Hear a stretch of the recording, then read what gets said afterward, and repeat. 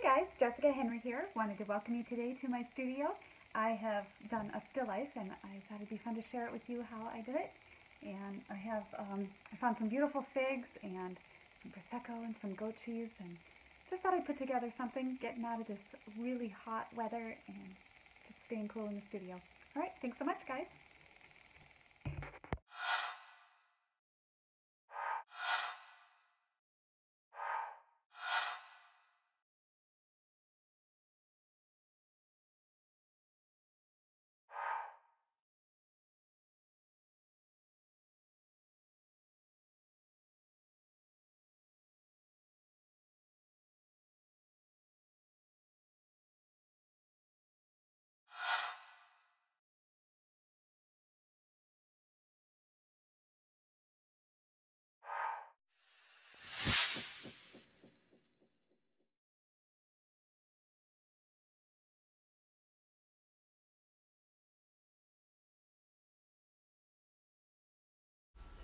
All right, well, jumping in, um, I have a linen panel here that is 19 inches tall by 13 and a half inches wide.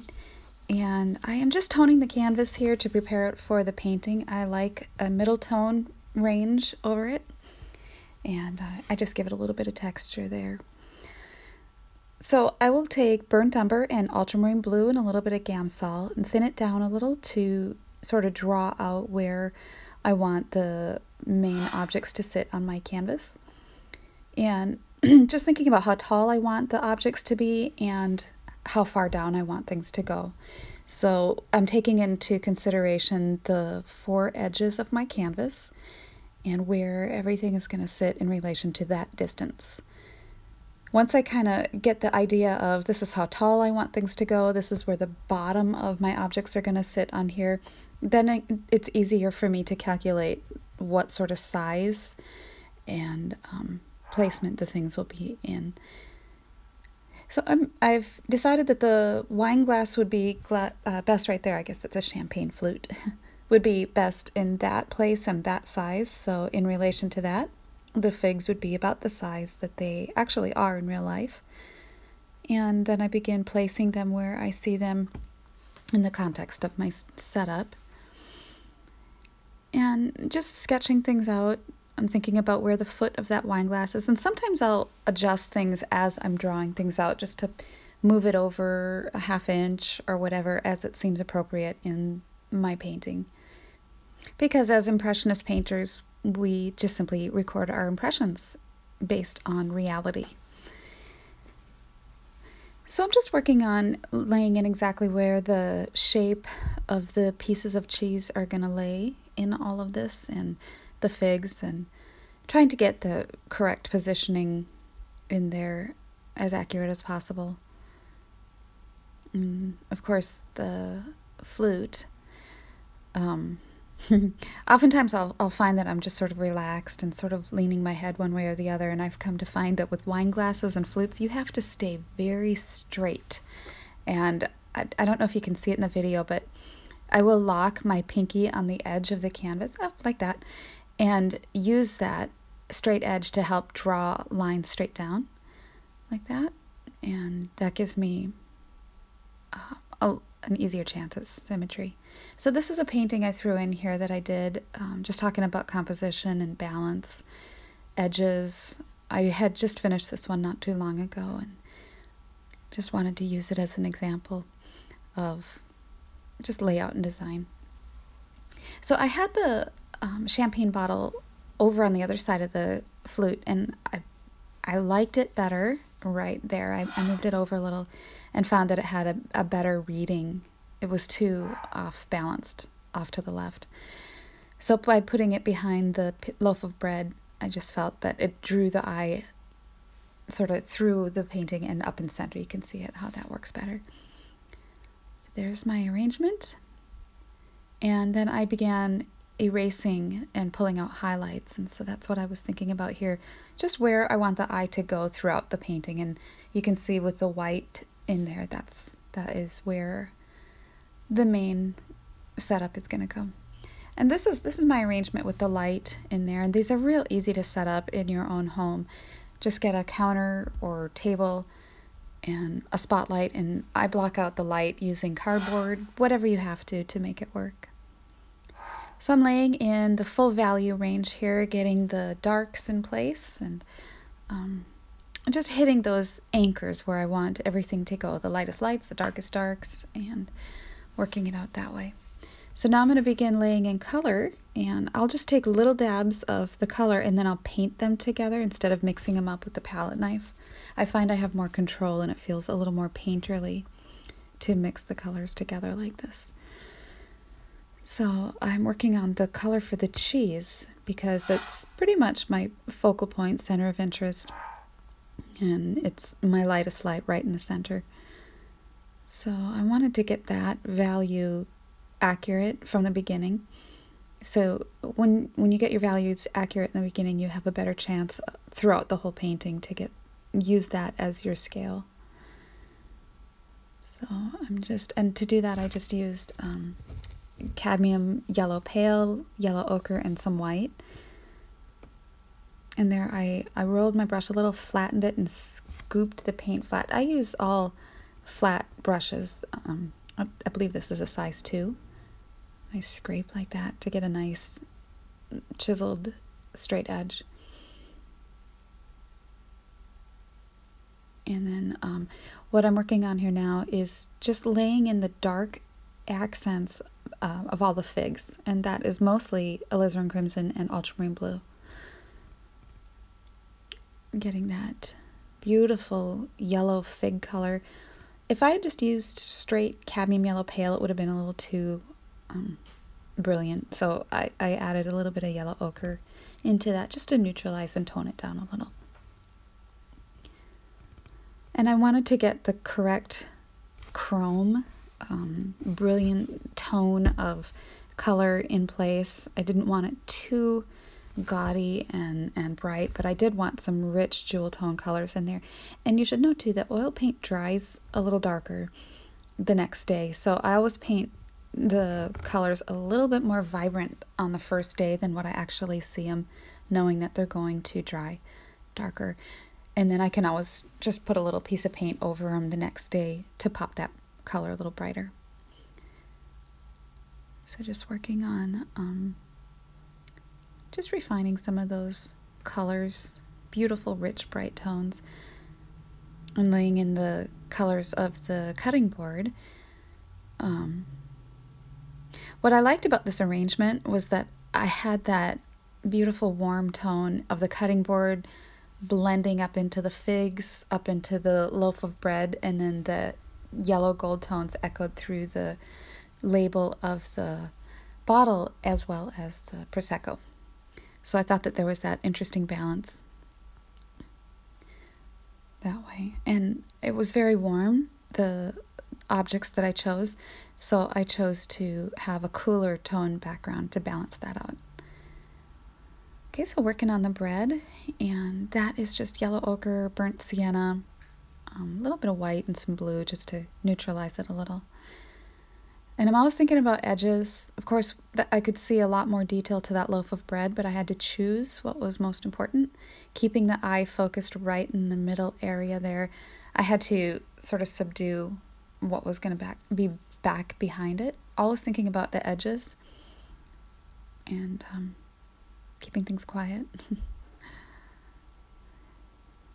So I'm, I didn't have the Prosecco in the glass yet, so I just wanted to get a little bit of the suggestion of glass before I, I went further.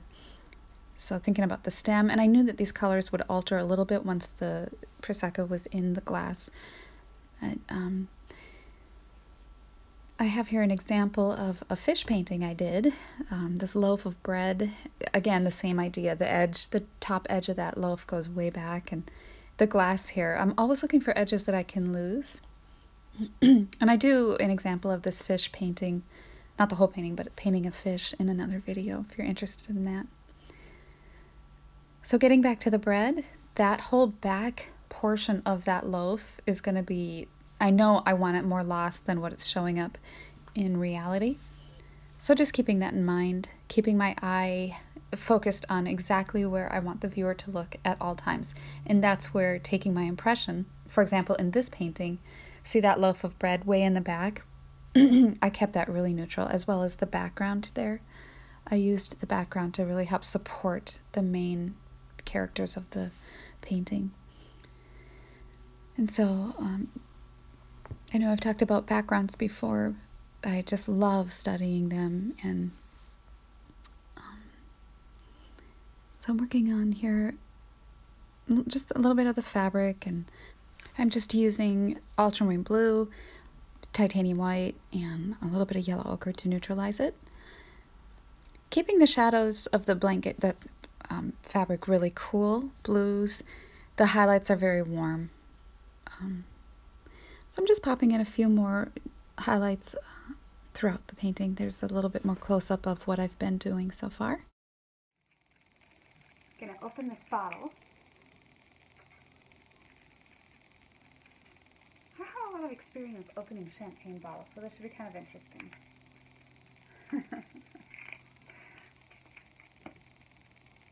Alright, I know I do something like this. I guess it's Prosecco, not really the same thing. Oh! Didn't see that coming. Woo! Oh my gosh. okay, so that was a lot of fun. All right, I got the Prosecco poured and I'm ready to start painting that in the glass. And this is one of my favorite things to paint. Um, so I'm just using cadmium yellow pale and yellow ochre for the most part, working on getting that feeling of it, that, that transition. Whenever you're painting glass, you always want to be cognizant of the color that's behind it. And in this case, of course, I had that very black background. So I had that down sort of first, but I left parts of it rubbed out in white where I knew that there would be a highlight because if you put it all black and dark behind something and then you try to put a highlight over the top, that darkness kind of shines through the paint. So if you can at all be cognizant of where your highlights are going to go. So I'm placing in where I know when I look at the glass and I can see these dark masses, I go ahead and put those in. Also squinting down to see where my edges are lost because that is really going to give the illusion of form when you can lose an edge. If everything was sharp and clear, um, it wouldn't read accurately. A lot of the beauty of painting is learning how to see and how we see. Um, and that's a point in case here with the, the glass is you can focus and zero in on your setup and you can see every sharp edge and little tiny sparkle and but it's you have to choose those things that are most important that are going to tell the story and um, you'll see in the painting of this this is um, only sped up just a little bit. I didn't cut anything out of the actual painting of this. I only sped it up a little. And you'll see um, kind of what I pick and choose about it throughout this, the painting of this um, glass of Prosecco. And um, I do actually have slight astigmatism in my eyes, so when I look at that glass, I can see the sparkles are a little bit blurry, so I kind of paint it that way, and it has that, that feeling of reality. Um, you can get that same effect just by squinting. But you can see here how I start at the top with a darker tone, and as it goes towards the bottom, the light comes through that glass and lights up the bottom. Just it glows, and so I, I gradate the paint as I go down in the liquid to be brighter at the bottom. And then it's sort of reverse at the top. If you have light on one side, at the top it'll be light on the other side. And um, so learning how to see, it's not about every single little teeny tiny detail, but about when you look at the center of interest of anything you're trying to paint, what do you see peripherally? And that's how you have to paint those things. Paint them as though you're looking at them peripherally, and then your painting will read more realistic and accurate. And um, just popping in a few of these highlights. I'm content with the the tones for the background of my glass.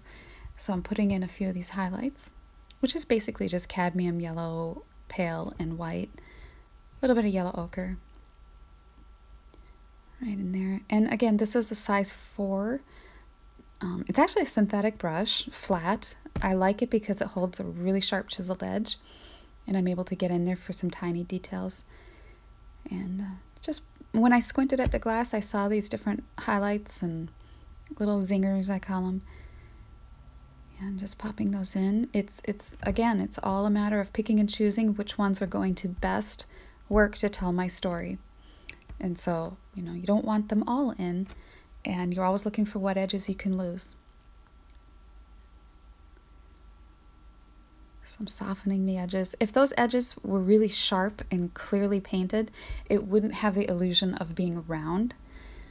Um, I share a painting at the end of this video that I did that has a scroll of paper and whenever you're painting things like paper or flower petals you want a sharp crisp edge because it, it has a feeling of flatness but anytime you paint something round like peaches or a glass or anything like that you want a soft edge and some edges if you can lose them all together connect them into the background connect them to another object it gives the feeling a sense of the painting a whole sense of unity and you want that so again, just cleaning up some of my areas where the highlights were and refining shapes. I wanted a little bit of a crisper edge there and on each side. And as you can see, nowhere am I blending. Um, I'm just using little smaller strokes. I'll wipe my brush off if I want it to sort of mix with the background color a little bit more. But that's, that's all I'm doing for that. I love these little highlights. There's the setup. Now with the highlights, you'll see in a minute, I take my brush, I wipe it off, and I kind of stretch the highlight out a little down in the liquid. I feel that it, it gave it more of a feeling of um, like there's substance to this liquid. Oh, and I'm doing the bubbles. it looks like I'm really nervous or had too much coffee, but I really didn't. I did want to put them in, but I didn't want to sit and do little teeny tiny dots because I thought that it would kind of kill that effect. So I just suggested them.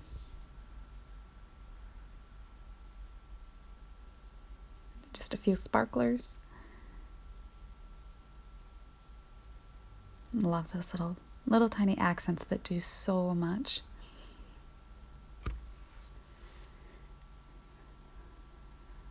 and I kind of spread them out a little. Just they look like they go zing. I like that effect. it's my astigmatism. so in a minute here, I take my brush. Well, that's the foam.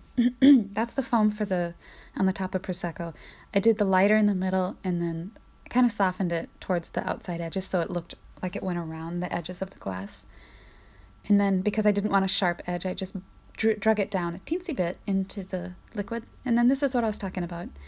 Taking my brush and um, just smoothing the, the highlights out a little bit.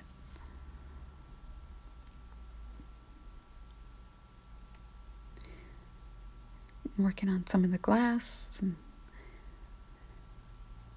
to do the glass, I, it's mostly um, you squint down you try not to get overwhelmed by all the different shades and you just look to see, you know, in that case I saw um, bounced light coming up into the glass from down below. I had the countertop and the bread and um, just popped that in. A little bit of highlights here and there.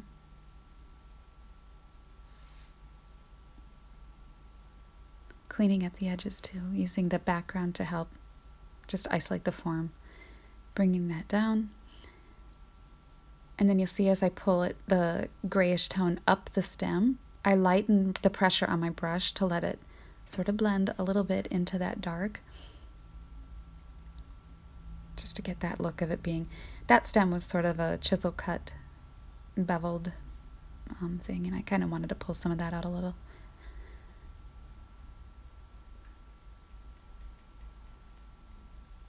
And this was a, an example. I have a few paintings here that I did um, just showing the different breads and grapes and things that I've done. Um, another glass and some grapes. Talking about transparency here too is just using those cadmium colors for that transparency. This was a painting I did um, with Grand Marnier and some transparent oranges. A lot of fun. Again, it's just the cadmium tones that create that illusion of glowing. And then I'm, now I'm working on the bottle. And what I liked about this, the way the light was hitting the bottle, is it had this wonderful movement of light. It hit strongest about in the center, and then it, it sort of gradated upwards to shadows. And I didn't want the edge of the bottle to be really noticeable, so I kept it really close in value range to the background and just drug a little bit of a highlight into it. So working on the label, of course, there was no way I was going to do all the lettering. I didn't think it was essential to the story. You have to pick and choose. uh, to me, lettering is just distracting in a painting. It's not what the painting's about. So I liked the value ranges that I saw on the label and thought that it was just beautiful the way it turned and went back into obscure shadow. So that's what I was working on here. And I just used a lighter pressure on my brush to allow that to just sort of fade into the shadow. And I pulled in a little bit of the highlight on the edge of the bottle just to separate it just a little from the shadow. Not very much. Hmm. Always thinking about ways that I can make things um, either pop or um, not scream for attention. You're the director, and you always have to decide should this be speaking, should this be quiet, should this whisper or shout? Um, how much time and attention should I give this area, that area? I liked this gold label on here, and that is just cadmium yellow pale with some white. And then as it goes back towards shadow, I used more yellow ochre. And then burnt sienna back towards the shadow. I popped in that highlight and then I just drug a little bit of tone over it, like right in here to help soften that edge. And up in there too. Same thing. I didn't want to draw the eye right off the canvas, so I didn't make that as detailed as I saw it in real life, but just kept it enough, uh, with just enough information to make it interesting. I'm working on the stem, and again, it's an area where, yeah, you can get overwhelmed by all the different little tones that you see, but you have to pick and choose. You know, this is not what the show is about.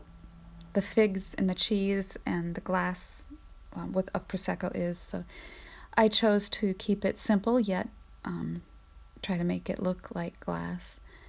So that's just all I was working on there in that lower portion of the stem, as well as the little foot.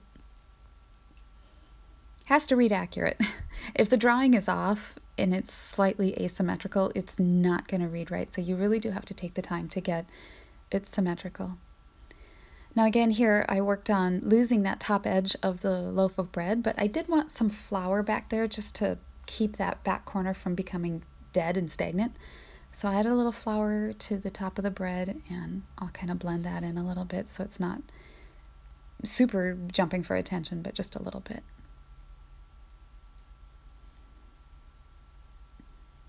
And that is just um, you know cadmium excuse me ultramarine blue and titanium white. And the bread I painted with um, again this is just the same limited palette I'm using um, burnt sienna yellow ochre little blue to neutralize it. Where the bread goes down to the bottom side of the loaf it's just more cad yellow pale and here I'm at this part of the painting now where I'm looking for things and ways to connect things into other things. The bread, I connected to the bottle. The cheese rind, I'm connecting to the rest of the cheese. Um, then, so that's what I'm doing here. I'm just going around, and you might might look like I'm flicking my brush, but just looking for all the ways that I can connect things. I think it gives it a sense of unity. That shadow was too dark, so I needed to lighten it a little. And that looked um, was a wrong tone. I needed it to be cooler blue. So then I work, um, again, just to bring it back into the background, I work on the background a little. I love Chardin and I've studied his backgrounds for years and just tried to create a sense of atmosphere. I share a painting here at the end where that was my one of my primary objectives to really get that feeling of atmosphere in that background. And this is that painting called Perseverance in Motion. My objective here was to really try to get that feeling of air in and around all the objects. And there's the scroll of paper I mentioned earlier. And so that's what I'm working on here. I'll take my brush with just a little bit of paint, and this is a bristle now, and I'm just scumbling a little bit lighter tone than what I had in the background on, just to sort of create, it kind of looks like air a little bit. And so this is the painting up close. The whole painting took about um, 14 hours or so to paint, and um, I did enjoy it, and I always try uh, to do new challenges and just have a lot of fun with it. Thank you guys for joining me and for subscribing. That's awesome. Thank you so much. All right, happy painting. All right, well, that wraps it up. I hope you enjoyed this, and uh, I had a lot of fun doing this. And um, don't forget, if you enjoyed it, to like and subscribe. All right, thanks, guys.